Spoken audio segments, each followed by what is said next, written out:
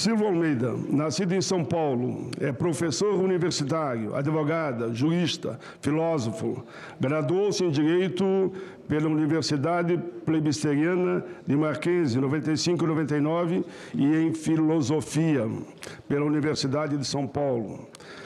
Silvio Almeida é mestre em Direito Político e Econômico. É pesquisador da Universidade Duke, nos Estados Unidos da América.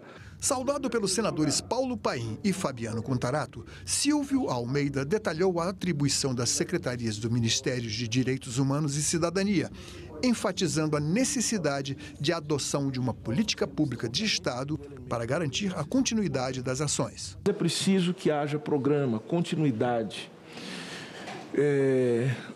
porque hoje nós temos um problema, senador, e esse problema ele só pode ser resolvido com o empenho do Poder Executivo, do Poder Legislativo, com o auxílio, o controle, a fiscalização do Poder Judiciário, mas fundamentalmente com a participação da sociedade civil, é, incidindo sobre os rumos da Política Nacional dos Direitos Humanos e permitindo que os reclamos da sociedade se tornem políticas públicas conduzidas pelo Ministério e mais ainda pelo Estado brasileiro como um todo. Almeida ressaltou a urgência em estender o alcance da Política Nacional de Direitos Humanos para as localidades menos privilegiadas do país.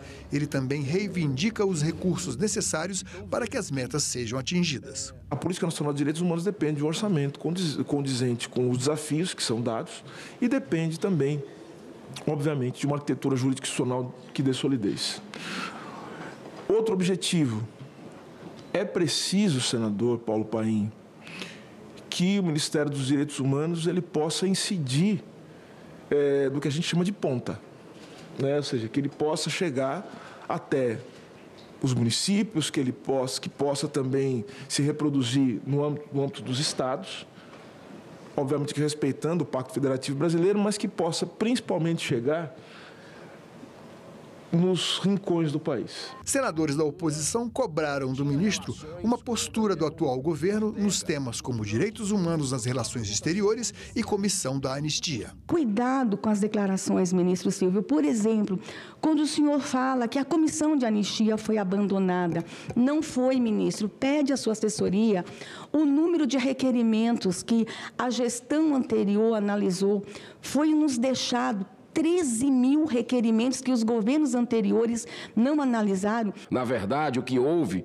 foi uma defesa deste governo, quando se absteve e não assinou uma declaração de mais de 50 países condenando violação de direitos humanos ocorridos na Nicarágua, comandados pelo ditador Daniel Ortega.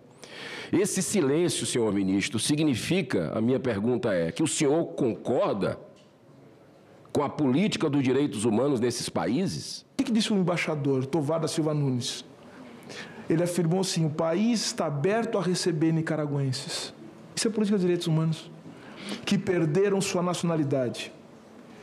Reafirmou o comprometimento humanitário à proteção de pessoas despatriadas e pela redução de despatriamentos, o governo brasileiro se disponibiliza a receber as pessoas afetadas por essa decisão sob o estatuto pessoal providenciado pela Lei de Imigração Brasileira. Também se disse o mesmo embaixador, preocupado com alegações de graves violações de direitos humanos e de restrições ao espaço democrático. Sabe o que, sabe que a diplomacia brasileira faz? Ela deixa um espaço para negociação, para a construção da paz.